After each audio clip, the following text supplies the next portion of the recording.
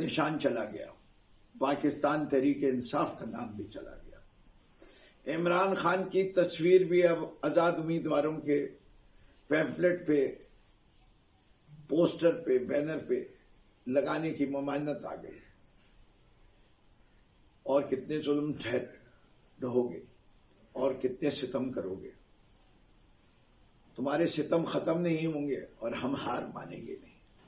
तुम जो करोगे हम उसका रिएक्शन भी दिखाएँगे। कैसा रिएक्शन जो हमारे लीडर ने बताया पुरमन तरीके से। हम अपनी जहानत को इस्तेमाल करेंगे, अपनी इस्तकामत को इस्तेमाल करेंगे।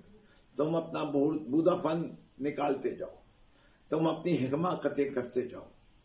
हम हर बात तुम करोगे। तुमने कहा, तस्वीर हटाओ। हम कैदी नंबर 804 लगाएँगे। तुमने कहा कि बल्ले का निशान ले लो, हम सोशल मीडिया को इस्तेमाल करेंगे। तुमने पाकिस्तान के इदारों का मज़ाक बनवा दिया। तुमने अदलिया की जो तस्वीर कशी कर दी है पाकिस्तान के अवाम के सामने तो वो अब सतून नहीं नज़र आ रहे। वो रेती के, रेत के पहाड़ बन गए। एक ठोकर में टूट जाते। पाकिस्तान को इदारों की ज़रूरत है। फौज पाकिस्तान का एक अहम इदारा है। फौज को मज़बूत होना है। लेकिन उसको मज़बूत होना है दुश्मन के खिलाफ।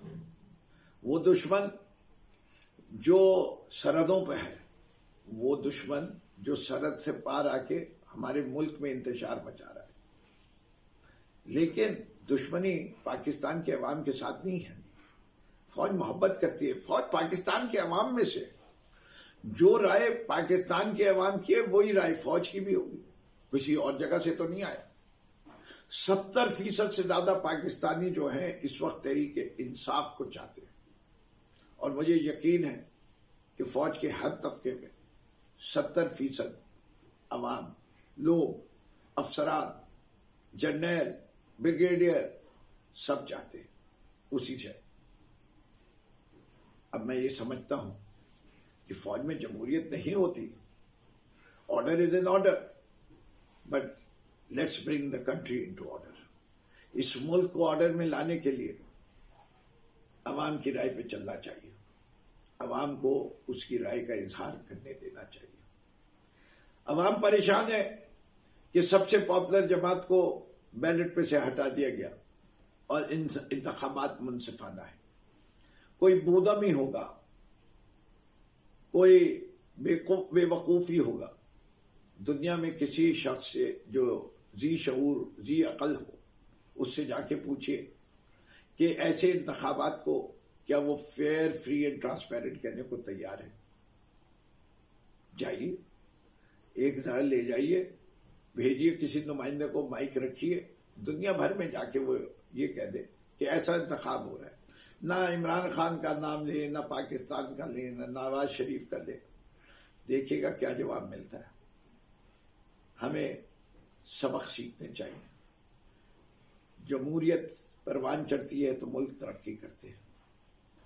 जुल्म सितम बंद होना चाहिए, जबर खत्म होना चाहिए, आजादाना इंतबात होने चाहिए। हक तो यह है कि हम जब रिव्यू में जाए, हमें, हमारी पार्टी भी दी जाए। हमें हमारा सिंबल नहीं दिया जाए।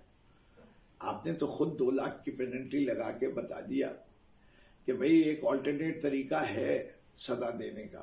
और मैं समझता हूँ जायज़ है कि आप दो लाख की लगाए या दस लाख की लगाए।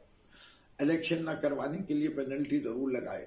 सही इलेक्शन ना हुआ हो तो चलिए उस पर भी पेनल्टी लगा देंगे कि हम उसका इतराफ नहीं करेंगे।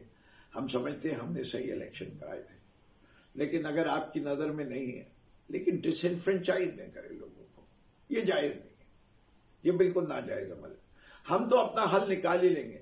आपने ये काम किया क्यों? बल्ले का निशान और पीटीआई को क्यों खत्म किया? आप समझते हैं कि तीस फ़ीसद नशिस्तें हमें नहीं मिलेंगी। हम भी कसम ले रहे हैं। हम लड़ेंगे जिस निशान पे भी लड़े। जिस दिन हम, उससे पहले हम इंशाल्लाह अपना इंट्रा पार्टी इलेक्शन दोबारा करा के पार्टी को बहाल करेंगे। और अगर पार्टी बहाल नहीं हुई तो हम किसी ना एक ना एक जमात का हिस्सा बन जाएँगे। और जब हम उस जमात का उन तीन दिन के अदवार में हिस्सा बन जाएँगे तो उस जमात को उतने वोट जो हमारी वजह से आएँगे, वो हमारी ही औरतों को देने पड़ेंगे। पीटीआई की औरतों को देने पड़ेंगे। तो हम तो अपना हिस्सा लेके रहेंगे। आप चाहे कितनी भी काविशें कर लें। आप सोचेंगे हम भी और सोचेंगे। और आपको पता है, आप मकर कर रहे हैं। लेकिन खैरुल माकरीन के हम तो उसी से दुआ मांगते हैं या का बदो वही या का दस्तही और हम हक पर हैं, और फतह हमेशा हक की होती है। आप अपनी काविशें करें, हम अपनी काविशें करेंगे। हम भी देखेंगे कि मूसा की कौम कौन है और फिर की कौम कौन है।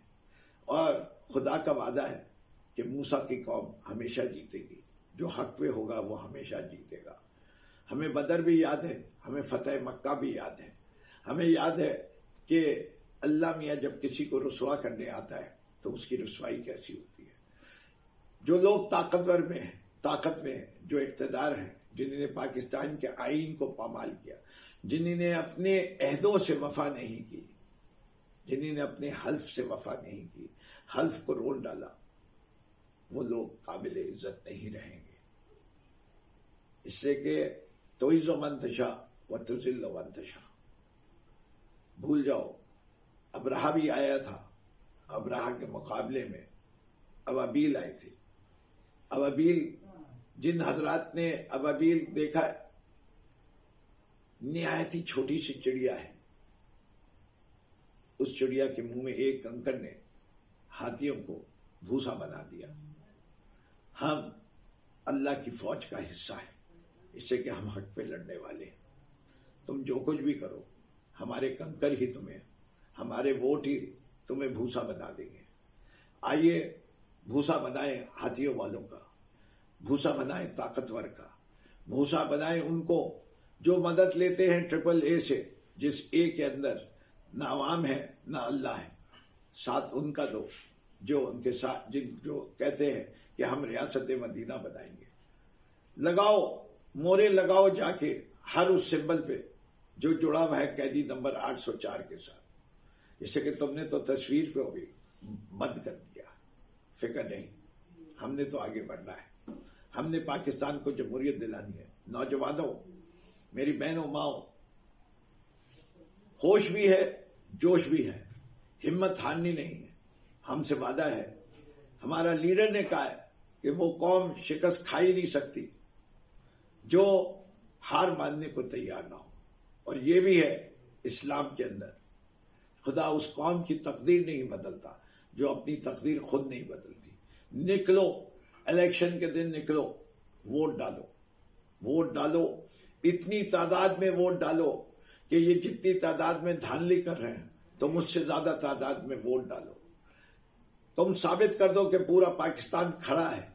पूरा पाकिस्तान अब जमहूरी भी है, आज़ाद भी है। इस मुल्क में अब से पहले वोट जो डलते आ रहे हैं, वो 40 से 50 फ़ीसद के दरमियान है। अब के हमने इसको 90 फ़ीसद पे पहुंचाना है। सब लोग निकले। निकले और अपने वोट का इस्तेमाल करें और अपने वोट की हिफाजत करें।